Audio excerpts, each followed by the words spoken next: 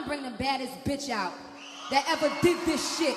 The baddest bitch that ever did this shit. Let me tell you where I grew up at. Sit more through the back. Look over back. Oh! Make some motherfucking noise! Grew up in the thoroughs. BK. The big hat,